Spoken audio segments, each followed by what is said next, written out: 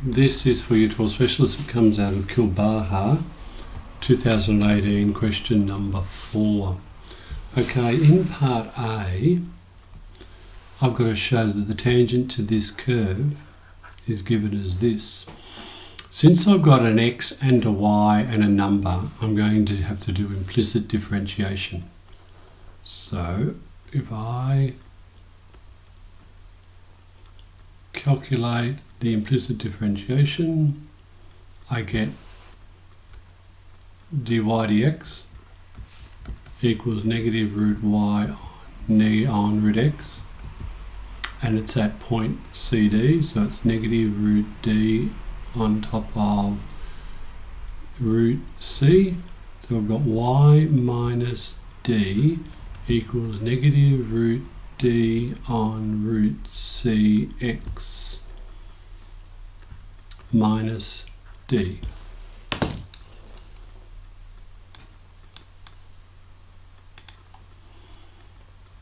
And if I take that answer and multiply everything by root c,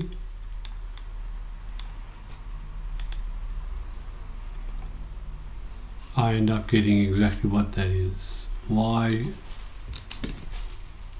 and c plus c root d, which is exactly what I was wanting. If this tangent crosses the x-axis at point A and the y-axis at point B, write down the simplest form of coordinates of A and B. So A is where it crosses the x-axis, so that will be at 0, and B will be 0 and whatever.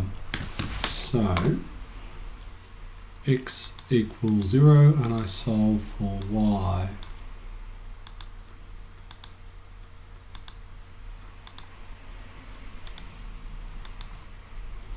And I get y equaling d plus root cd.